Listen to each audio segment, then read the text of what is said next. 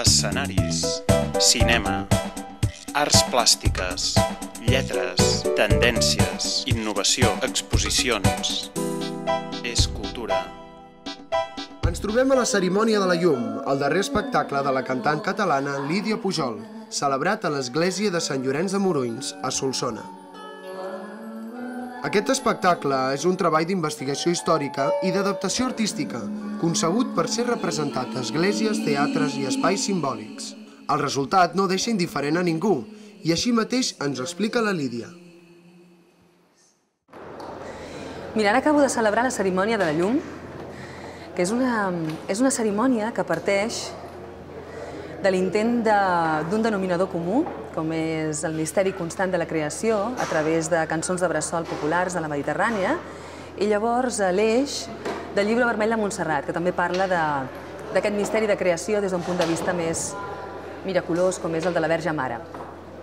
Les tres grans religions monoteïstes porten el seu Salvador a través de la Verge Mare, i bé, eh, era una mica buscar un denominador comú per, per llavors partir cap a les diferències i buscar un espai, com pot ser un temple o un lloc simbòlic, en el que um, sigui un espai que et convida a, a formar part.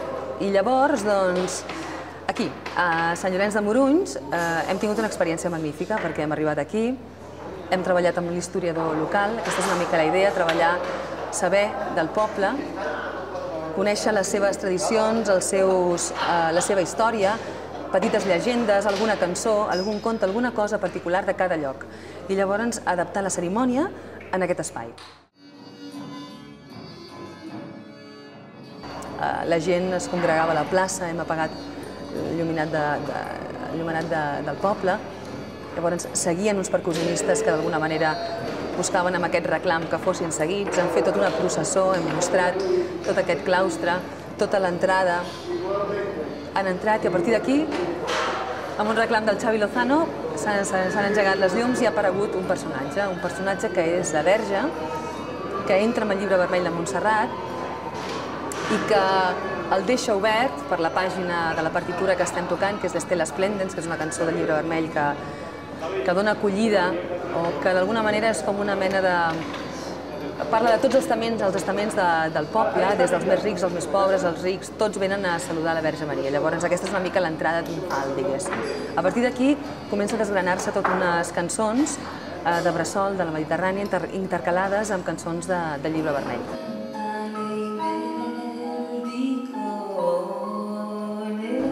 La instrumentació és eh, mig eh, tradicional, mig de música antiga. Eh, hem intentat buscar una percussió que encara n'és més enrere, molt de panderos ibèrics, molt, diguéssim, jo, jo voldria dir quasi de prehistòrica, com, com, però bueno, és com per mi són, són, és molta pell i, i d'alguna manera el que fa és connectar Penso, el llibre vermell de Montserrat és del segle XII, però les cançons de Bressol penso que són les cançons més antigues de la humanitat i llavors doncs, encara penso pues, això, que les cavernes ja passaven aquestes coses i que la percussió hi era potser d'alguna manera fluixeta, però aquí està. La cosa és que a nivell de música, doncs, amb el Dani Espasa a la direcció, el Xavi Lozano, bueno, un seguit de músics que ara em posaria histèrica per recordar els noms, però no perquè no me'n recordi, sinó perquè, perquè tinc Alzheimer. Doncs això. I perquè ara mateix estic trastornada, que acabo de sortir. Doncs això, som 12 en total i som dos cantants. És una mica, la idea és mostrar també aquestes diferències entre Orient i Occident amb un espai de convivència i de respecte, més enllà de, de les opinions, dels criteris, de, de tota aquesta diferència que en un moment donat eh, es manipula o es transversa. No? I bueno, seria això, buscar un espai de convivència senzillament portar en un petit format doncs, la realitat que està passant en el món i la irremediable realitat que està passant i que s'ha de portar de la millor manera possible. Volia dir-vos que un no, no dona un sol pas a la vida sense haver d'agrair-li a algú. Aquest cop, tota aquesta cerimònia és gràcies a tot un poble, a Sant Llorenç de Morons. Doncs mira, jo li explicava totes aquestes batalles al Josep Pintor, que és el dueño del Monegal, que és un, un hotelet en el qual es fa música en directe, en un espai preciós, en un hotelet enmig de les muntanyes. És un, és un lloc realment molt especial. Li explicava aquestes batalles, és molt amic meu, i em va dir doncs això ho farem a l'església del meu poble, aviat. Dius, vale. I, el, i efectivament, em va trucar al cap d'un any i em va dir, escolta, és que allò, i em va proposar de fer-ho. Vam començar amb una proposta de, mig format i llavors vaig trobar una altra persona, que era el Jesús Montaner, que va dir, doncs això m'interessa molt, ho trobo magnífic, ho farem gros i ho farem com vulguis. I això ha estat, bueno, un somni fet realitat. Tot ha estat una confluència que ha anat cap a una mateixa direcció, com si fóssim un banc de peixos, tots, tots, tots, i, bueno, això impressionant, no? Bueno, és, per mi és una cerimònia, perquè veritablement tot, des de que comença fins, a que, fins que acaba, és enllaçat, és una cosa que per mi és una cerimònia. Mm, és un camí etern el que hem començat. Jo penso que, que, que acabarem nosaltres amb les nostres vides i això es podrà seguir, seguir fent d'una manera, segurament tindrà evolució, segurament cada lloc o cada emplaçament que hi anem tindrà les seves petites particularitats, com et deia abans. No? El que volem donar és una mica aquesta visibilitat de patrimoni, d'història, d'arrels, de posar-nos al servei, de formar part, totes aquestes coses són una mica el, que, el motor que, que ens mouen. Llavors sí. penso que, que comença aquí, pot seguir a qualsevol altre lloc, a Cardona, a Montserrat, a la Seu, a Lleida, a Poblet, a tot arreu que tinguin un lloc especial, al Guggenheim, a, a un far.